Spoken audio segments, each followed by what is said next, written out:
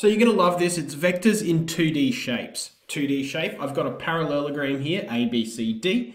Now, this is vector u and moving in that direction. That's vector u. And this I'm going to call vector v. We can formalize that a little bit. The vector AB, AB with an arrow above it, equals vector u, AB, vector u, and from B to C, vector v. And so the sorts of questions we're going to be able to answer are express the following in terms of u and v. Our first one here, vector AC. Now what does vector AC look like?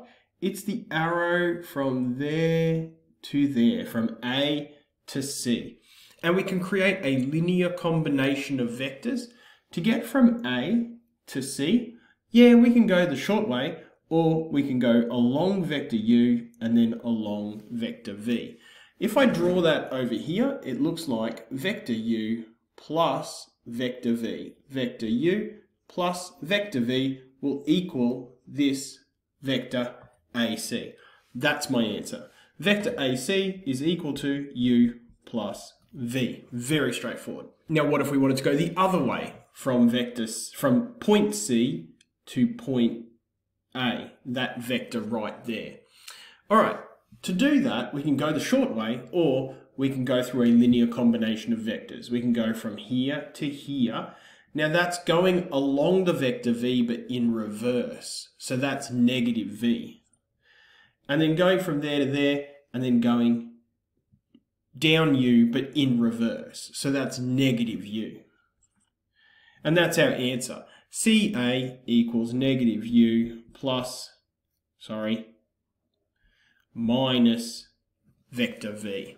Rather than sort of reasoning it out like I did there, I knew that AC was u plus v. So CA must be the reverse of that which is going to be the negative of that. Multiply the whole thing by negative, you'll get negative u minus v. Now, what about vector AD? All right, um, well, these two vectors are parallel. B and C and A and D are parallel, and they're in a parallelogram, and we know that parallelograms have uh, sides that are the same length. So if they're moving in the same direction and they have the same length, they are equal to each other. So vector AD is simply going to be vector V. And similarly, vector DC would be the same as vector AB. That would also be U. Now what about vector BD going from this point to this point? Okay, we can go the short way or through a linear combination, we can start here and go down this U1, which is a negative U. So we're moving down through there and then along here, which is in the positive direction of the V, so plus V. It might be neater to write that in the reverse and say that BD, vector BD, is equal to V minus U. Hopefully you're getting the hang of this. All right, let's add a complication. This point here, uh, now that point is point P, and it happens to be the midpoint between A and D, so those are equal length. Okay, so what about vector AP? How can we express that in terms of u and v? All right, getting from A to P, we're traveling along this vector here, which is vector v. We know that's v because that's v. And we're only going half of the way. So we're only going halfway along vector v, which is half vector v. Simple as that. Now if we wanted to do vector pb, we're going from vector p to vector b like that. To get there, we go from here to here, which is moving halfway of vector v, but in the negative direction. So negative half v, and then up here, u. And that will be our answer. It would have been neater to write it the other way. Now you might be thinking, yeah, but how do you know which way to go? It doesn't really matter which way you go, you'll still be fine. So if I was trying to do vector PB an alternative way, so let's do it an alternative way over here, we're going to go from P to D, which is half of vector V.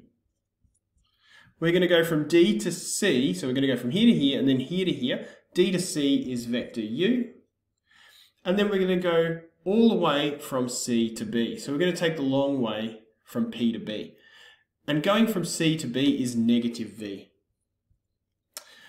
Half V minus V, half of V minus a full V is half is negative half of V plus U. So you can see that whether I went the short way or the long way, that vector is still going to be expressed in the same way regardless. Let's flip that around. You get the idea. And finally, another midpoint, Q, and I'm going to go vector QP. Okay, how do I get from Q to P? I can go the short way or I can go down here. So uh, I'm moving down the U vector. So negative a half U. And then from D to P is along the v vector a half, but in the negative direction, so negative 1 half v. It would be neater to factorize this and write it as uh, negative 1 half vector u uh, plus v. If you expand that, you'll end up back where we started, but that's a little bit neater than that, I think. All right, that is vectors in 2D shapes.